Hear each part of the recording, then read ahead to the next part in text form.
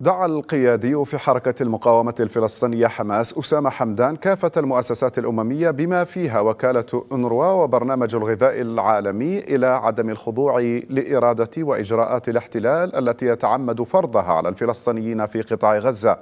القيادي في حماس شدد على أن استخدام الولايات المتحدة حق الفيتو لتعطيل قرار مجلس الأمن يؤكد حالة الشراكة الكاملة للولايات المتحدة في حرب الإبادة التي يشنها الاحتلال ضد المدنيين العزل في غزة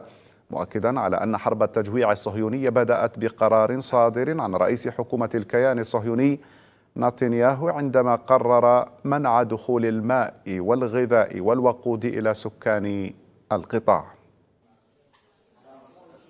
المجتمع الدولي اليوم أمام مسؤولية كبيرة لا تتعلق فقط بوقف العدوان على قطاع غزة وهذا مهم وهو الأولوية والضرورة القصوى ولكن أيضا بالعمل على إنهاء الاحتلال وتمكين الفلسطينيين أن يقرروا مصيرهم بأنفسهم وإذا كان عاجزا عن ذلك فلا أقل من دعم المقاومة الفلسطينية وقطع السلاح عن الاحتلال وفرض الحصار عليه كما حصل مع نظام جنوب أفريقيا العنصري الذي لم يستسلم إلا بعد أن فرض الحصار عليه دوليا.